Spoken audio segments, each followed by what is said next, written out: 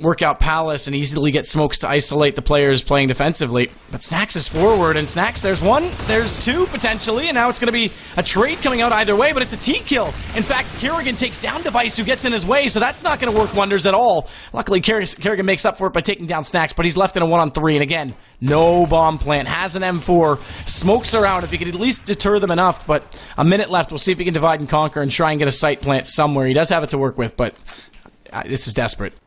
Yeah, it's very desperate now, and it's crunch time here on Mirage. This has been such a great series between these two teams. Exactly what we wanted to hope for out of these, you know. And now we're into just the last few rounds. This is the time where it, it all comes down to these kind of plays. And I don't think Karrigan's going to be able to take this one. And we can see the rotation coming in from Byali, the initial man, over towards the B bomb site. So that's where the engagement will happen. If Karrigan can pick up the frag here, enter onto the site, he may be able to get a bomb down, and that's exactly what he's going to be able to do. Plenty of time to play with, so the one versus three is still on.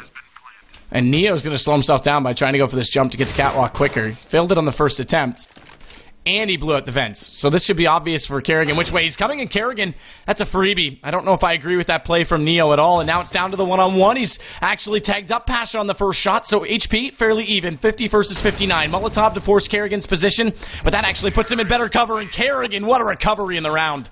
And Talk the about using the time. Yeah, exactly. Ace, that's ridiculous. I mean, I was talking about just getting a bomb down. That's a, an eco, a Tech 9 eco, where he wins it one on three with an ace overall.